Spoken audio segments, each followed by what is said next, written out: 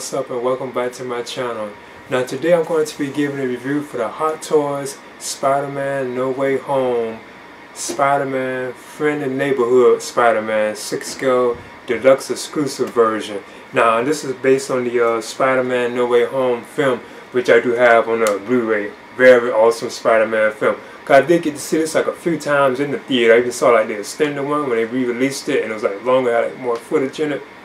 But yeah, uh, I'm definitely excited about having this. And I had this like on pre-order for like a while. And mine's just not coming because like other people have already gotten theirs. But mine's been like on pre-order for like a while. And it's just uh, coming to me. And I got it some uh, Sideshow collectibles too as well. So yeah, I'm definitely excited about having this. And again, I have like the exclusive deluxe version.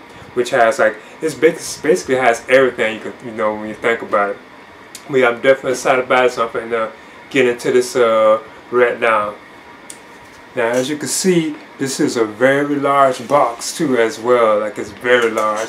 And I think the, uh, the artwork on it, from my opinion, this is like the best of the uh, Spider-Man, Spider-Man No Way Home, like six scale figures that we have, you know. I think this is like the best like art this, you know, as far as like the Green Goblin, Electro, and Dr. Octopus I like this particular box art the best out of all of them. So you know this is like the Tobey Maguire uh, Spider-Man too. So this is how the box look. And again, mine is like the deluxe version, exclusive too, by the way. But there's like an image of Spider-Man right there. It's like a, a pumpkin bomb, like a goblin. And you know, like the octopus tentacles and all that, like the uh, multiverse thing, electros, electricity. So it's, it's like a lot of stuff going on on it. Oh yeah, and it does say right there too, like a sideshow exclusive. And of course, it does say friendly neighborhood Spider-Man. That's the name this uh, particular version of uh, Spider-Man that I have, which is like the Tobey Maguire version. Because I know they had the Andrew Garfield version, which I wanted so bad, but I missed out on it. I still have my eyes on trying to pick up that particular version, you know. But yeah, uh, I'm gonna see how this actually works. I think this slides off too, if I'm not mistaken. Yeah, you can slide this on off.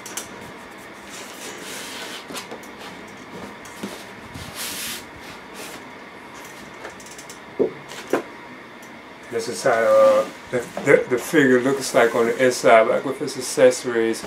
And again, I do have like the uh, Sandman like display stand too as well, which I'm kind of curious about.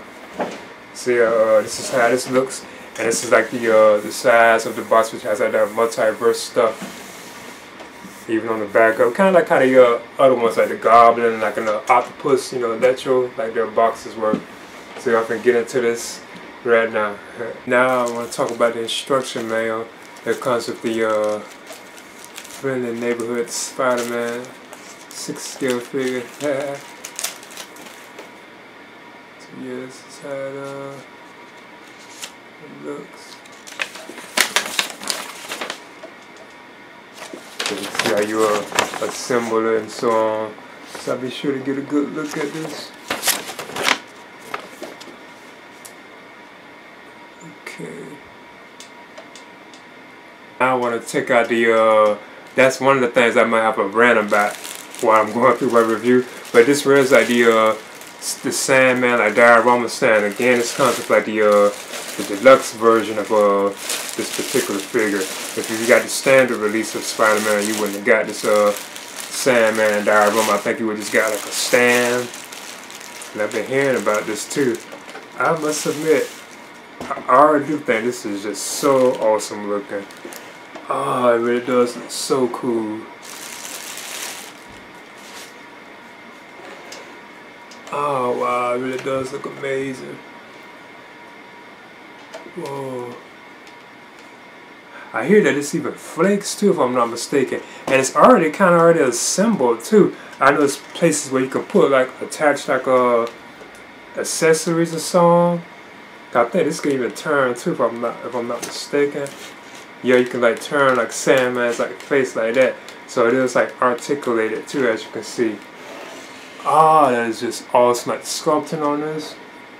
And it has like this like rough like a like a I guess you could say like sandpaper type feel to it too as well. But I'm gonna get a better look at it. I see it still has some like cotton stuff and I gotta take off too as well. But as you can see, is how it, kind of, it looks like up close.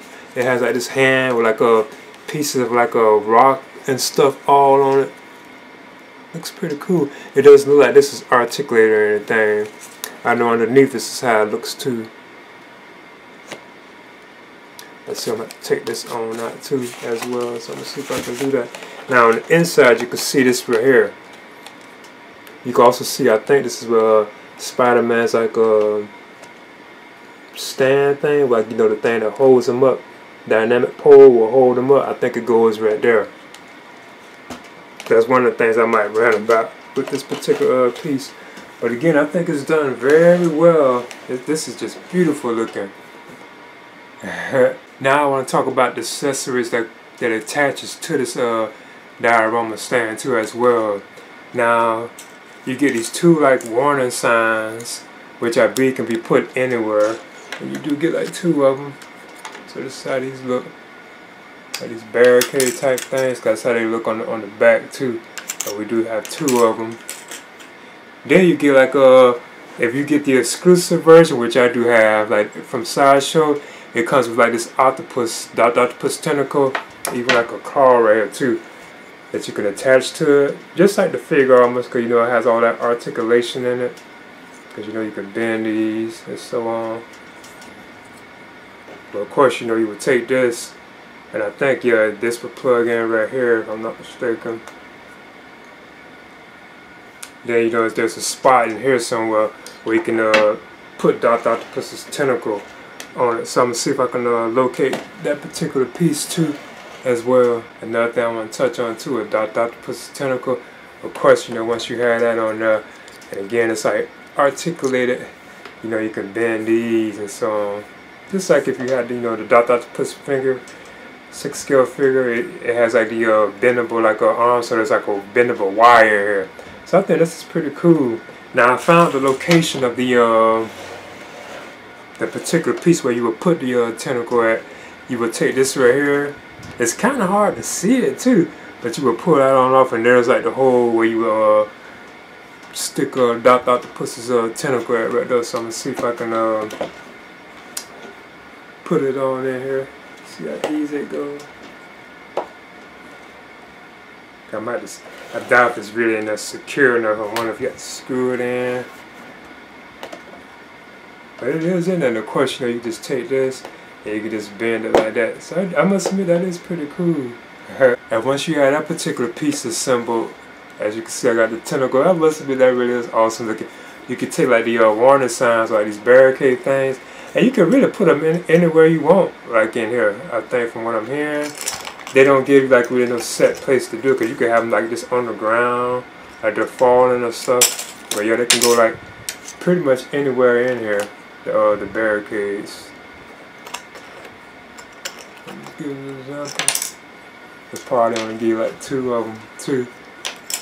Now next I want to talk about the uh, dynamic like uh, pole for Spider-Man. This is for Hold Him. Now this is where I kind of have like a rant with this particular piece. And I also have like the whole complete thing, which is like the deluxe exclusive. It does like Hot Toys should at least include like a separate stand if we wanted Spider-Man himself, just like on a stand. But from what I'm, I'm saying, you know, apparently he have to always be like uh, attached to this. So I think that was kind of like, kind of like, you know, like kind of bad for my opinion. So that's just like a rant on my part. But I still think it's cool having this because if you got the standard one, you would get like the stand, but like they should just still include like the regular stand with this particular uh, piece from my opinion, you know. It's just like a rant of mine. But of course, you know, you just take this and you screw it on in here because, you know, you always have to pop the top off. I can, yo. And then, you know, you just put this on here like this. And of course, you know, even this like bends and so on, however you want. I know I use to tighten these on up too, like them screws in there. I used to take like a screwdriver and tighten those on up. So I'm gonna see. And there's also like a place for uh, putting that uh the dynamic pole, which I already showed earlier.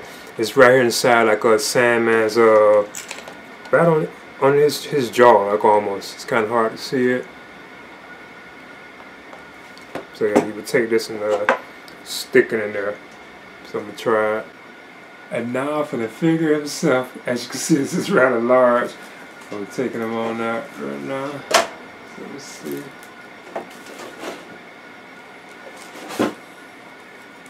Yeah, he has all this like plastic on him and stuff. You know, as usual.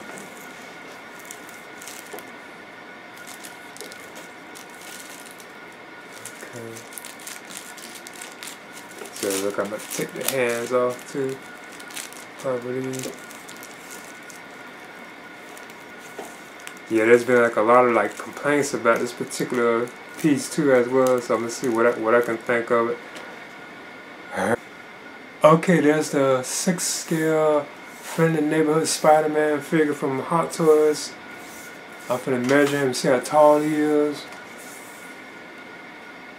And yeah, he's like right under 12 inches. So I'm gonna talk about like the articulation and the likeness to how he looks like on the film as well. so yeah, now I think the figure does look uh, awesome, and there are like a lot of things that I would even I wouldn't even notice about this particular figure. But there are certain things too I kind of think kind of like you know kind of off with it, but still it's like a pretty uh, solid figure. And now we have like a a new six scale like Tobey Maguire based uh, Spider-Man figure too as well. Cause from what I'm hearing, Hot Toys only has like uh, the Spider-Man 3 license. That's why we have that upcoming like black suit Spider-Man figure on the way, which I'm definitely excited about too. Cause you know that was on part three. But yeah, here's like the, the figure in hand. Now there's like also like a like a lot of stuff that's is in this particular figure that I'm hearing about. Like you can see like where the uh the seam line right there. It's kind of hard to see it. I'm trying to get the light on the right. You can see right there like where they sealed it together. And even like the way uh like the uh, the webbing right here, like the raised weapon around like his mask. This right here, if I'm not mistaken, should be like a little I think it's a little lower, but they have it wrapped up between his eyes, like the way the webbing is on the Spider-Man's face. I also think this is kind of off too. I'm trying to remember, did it really look like this in the film? I need to look at it again. Like you can see, like his neck is like cut like a separate piece in there right there. It looks like that's kind of off too, for my opinion. That's one of the things I think is kind of like, you know, looks kind of bad about the figure because you can see it right there on the back too as well. But of course this is how his suit looks at the spider on it.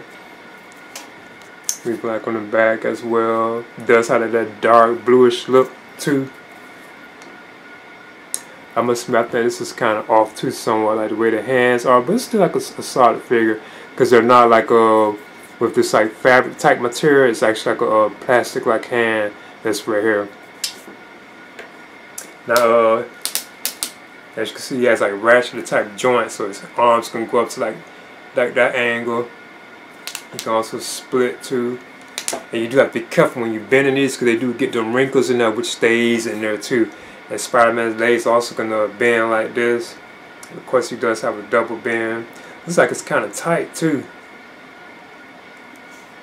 You can pivot in and out like that too as well. feet can turn and stuff. It can go up and down.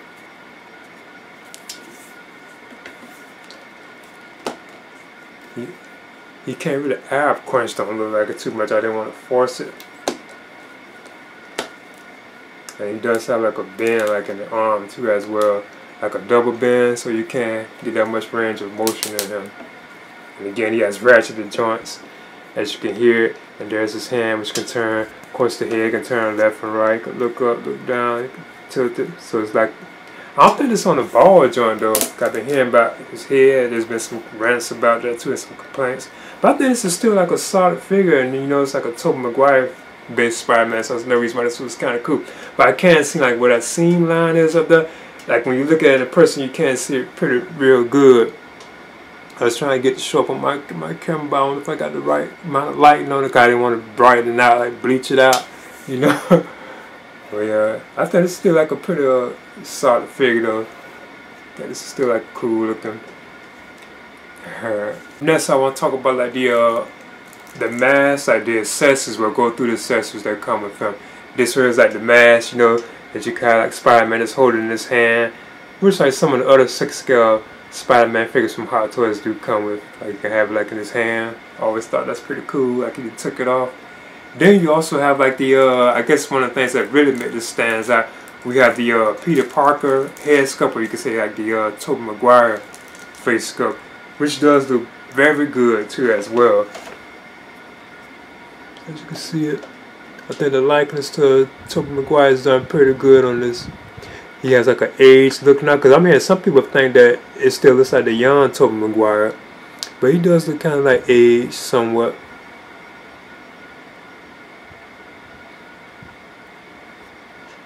Especially off from the side angles or so on the windows, like look like him. That's pretty cool. Also wanted to show how this this looks too. I've been hearing some like rants about this. Like people don't like how it look, cause you know we usually have like the ball joint there or something like that. But this is how it looks, you know, when you want to uh, decide to take it and put it on. So let's see if I how it works. Yeah, it looks like it goes right on on too. Okay. I can see I don't have it on all the way, but yeah, that's how it looks when you have it on. Okay, looks pretty cool. So there's no question I'd be displaying it like this at times. Again, I think that's kind of off how you can see that so so visibly.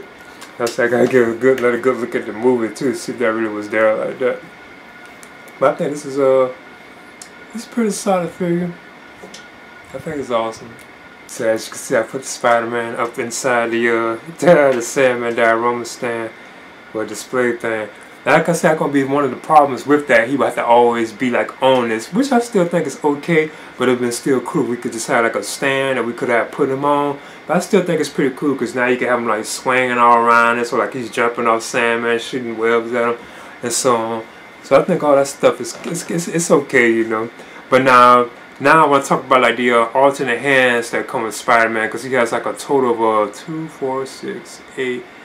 I think 12 hands, yeah, 12 hands in total if you count the two that's on him. But he has like uh, 10 separate hands. You have like two uh, web shooting hands right here. As you can see, these are sculpted in plastic, which is another thing I think is kind of odd. Then you also have uh, two like uh, I guess you could say these kind of like gripping hands or like climbing hands. Then he has like uh, this particular hand right here. It's just like open. Then he has uh, well he has two of those to be exact. Then he has like a solid fist. Well, actually, this is like a web swing. I think hand, the one with the uh, that web that has like the swinging grip on it. I think this is for that. You can see like an opening right there. Then you have a uh, this probably is for holding like the uh, Sandman Cure device because it's like a gripping hand.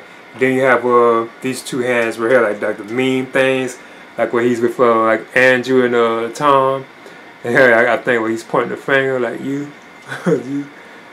So I think that's pretty cool. Then you have like the uh, the web shooting things too as well, which I'm very familiar with because we used to get this with a lot of Spider-Man like figures from Hot Toys. And of course, you know, you can take this this particular piece off. Then you know you put that uh, that particular slot on. You know, slide it in. You can add your web effect to it. Then next you get like your uh, usual assortment of uh, like webs that Spider-Man used to come with, with the Hot Toys six scale Spider-Man figures come with. I have so many of these. I don't have to worry about breaking these or losing these. These are like a web shooting like web between like the blast effect, like he's shooting out a web. Because as usual, you get two of those. Then you got just two uh, straight webs right here. Then you get like a uh, swinging type web. These be like the usual ones he comes with. And then he has like this particular web right here, which has like, you know, the grip for the hand. We put the hand on it. Then he has like a funnel web too, as well. Then you also get like a uh, some pegs too, as usual, that Hot Toys usually provides us with, like if you break them or anything. Then up next, you get the uh, elastic. This is the uh, the Sandman Cure. That's what they call it, the Cure. You get this right here too as well. It's not articulated or anything, I don't think, but this is how it looks. Okay, that's pretty cool. I want to compare the Spider-Man No Way Home Friendly Neighborhood Spider-Man 6 scale figure from Hot Toys with some of my other Spider-Man No Way Home figures from Hot Toys. okay, here's the Friendly Neighborhood Spider-Man with the uh, Spider-Man Far From Home upgraded suit 6 scale figure, like the Tom Holland version of Spider-Man. So you can see there's like their, their height difference. They're like they're about the same. It does like uh Tom's on is like a little taller than uh the Tobey Maguire's on if I'm not mistaken. Like his Spider-Man like slightly though. But it's just how they, they look. And I know they have like the uh, battle damage, uh, I think they called it the battle one from uh, No Way Home. Like it's this particular but it's like dirty looking and stuff. I must admit, I do think that was awesome, and I would like to have that one, you know. but I know they have that particular version, you know, from uh, No Way Home too as well. and then next here's the Green Goblin from uh, Spider-Man No Way Home. There, as you can see. I guess this really, uh, it should be really the, uh, the Tobey one. He should be next to it so you can set the, the size in. So let me see. These really the two that kind of really go together. Yeah, except yeah. Now of course he's taller if you're going by like his helmet, like the uh, Spider-Man. Yeah, these are some awesome figures too. And then up next is uh, Dr. Octopus. I left him on the stand too, as you can see with them. You see how he kind of compares to all of them. The Dr. Octopus figure.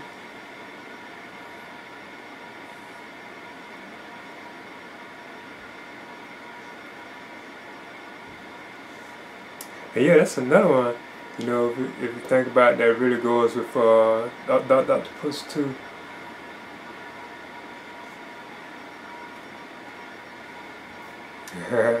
As you can see, here's the uh, six scale Electro figure from Spider-Man No Way Home too as well. Tab. So yeah, I think these are awesome uh, figures from uh, like Hot Toys. I would definitely recommend you know like have them if you can like get them. You know. okay, there's the Hot Toys Spider-Man No Way Home Friendly Neighborhood Spider-Man 6 scale figure and this is the deluxe exclusive version which I do have because there were three different versions of this particular piece because you have like the standard one which just had like a I think just like a Spider-Man like with a couple of accessories like in a stand too like a display stand. But then the deluxe version would have had like the uh, Sandman diorama which I have right here. But if you had the exclusive version it also came with like an extra Doc Ock tentacle that you could put on like the uh, Sandman diorama thing now I must admit I do have a few rants for this particular figure. I think like uh, that we should at least have got like a separate stand, like a display stand that we could have put Spider-Man on just by himself. Because now if you just want to display him, he will have to always have like this around him if you want like a secure uh, attachment to him, like something that, that keeps him from falling over you actually have to always have like this uh, Sandman diorama stand. Unless you can get like a separate stand, so that's one of the rents I do have in particular piece. But I think it's a pretty solid figure, and it's amazing that some of like the inaccuracies of this particular piece too, from what I'm hearing, like from people, like some of the things that were kind of off or wasn't really like completely like accurate to how they really are in the film. So I think that's pretty uh, interesting and awesome too as well. But I think it's still a pretty cool uh, figure, and I think the likeness of uh, Tobey Maguire on like the alternate head sculpt, or you can say Peter Parker, I think that is done pretty good. that's another one I was hearing that they don't think it looked like it was a uh, old enough, you know, like like an aged uh, Peter Parker or Tobey Maguire. It still looks like kind of the more younger uh, Tobey Maguire figure from what I'm, people are saying from what I'm hearing. But yeah, I still think it's like, like the Sandman diorama thing. It is like a beautiful, like awesome piece, and it is articulated too as well. I think that's pretty cool. And apparently, uh, I think Hot Toys only has, from what I'm hearing, like the uh, Spider-Man 3 license. That's why we have like I guess like the Sandman. Well, this is based on No Way Home, but I think that's why we have like the Black Suit Spider-Man on the way too as well, because you know that was from Part Three. So I think that's why they only can do figures based on Part Three. So it'd be cool if we can get like a Sandman figure. I think that'd be so awesome, like an updated Sand, like, like a Sandman figure. Period. I don't think they ever done like a Sandman, like a six scale figure, like based on Part Three. I think that'd be cool if they can do that. But I think this is definitely worth having, though. And I got mine from Sideshow Collectibles, like I mentioned before. And again, this is based on this particular film, Spider-Man No Way Home, which I do have right on Blu-ray. a very awesome Spider-Man film. I think easily one of the best Spider-Man films. I did get to see this like I think three times in the theaters, if I remember correctly. So yeah, I would definitely recommend it. So this is the Hot Toys Spider-Man No Way Home six scale friendly neighborhood Spider-Man figure. Please leave a comment and uh, subscribe too as well.